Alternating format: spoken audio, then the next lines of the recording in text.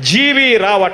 ఎవరో ఆయన మొట్టమొదటిసారిగా నేను ఫస్ట్ చూసినప్పుడు ఎవరబ్బా ఈయన? ఆఫ్రికా నుంచి వచ్చినట్టున్నాడు. ఏం మనిషి అబ్బా అని చెప్పి అనుకున్నా.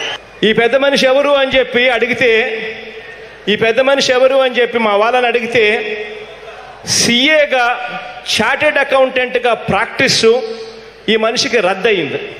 రాత్రికి రాత్రి ఇటువంటి ఆర్థికవేత్తలు పుట్టుకు వచ్చే కార్యక్రమం జరుగుతూ ఉంది. రామోజీరావు గారి పురుగులు పట్టిన బుర్రలో నుంచి వీళ్ళందరూ కూడా పుడతారు.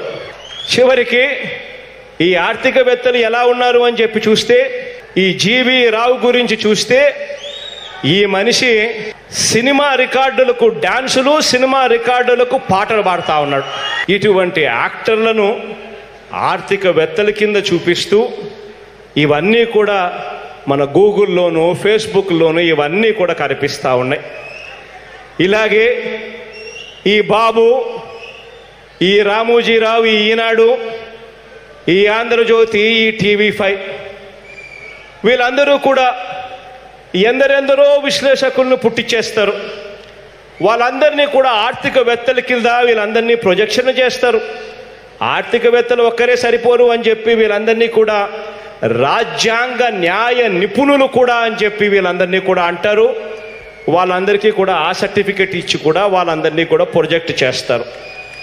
వీళ్ళందరూ కూడా మేధావుల సంఘాలని వీళ్ళందరూ కూడా సర్పంచుల సంఘాలని ఏది పడితే అది వీళ్ళందరికీ కూడా ఒక ఒక ఒక ట్యాగ్ కూడా ఇస్తారు. ఇచ్చి వీళ్ళందరి కూడా వీళ్ళందరినీ కూడా ఎందుకు వాడుకుంటారో తెలుసా? వీళ్ళ నోట్లో నుంచి అబద్ధాలు చెప్పించడానికి వీళ్ళ నోట్లో నుంచి ప్రజలను మోసం చేసేందుకు వీళ్ళందరినీ కూడా వాడుకుంటారు. వీళ్ళందరూ కూడా రకరకాలుగా వీళ్ళందరూ కూడా వాళ్ళ వాళ్ళ నోటి దగ్గరికి వెళ్ళి గొట్టాలు పెడతారు.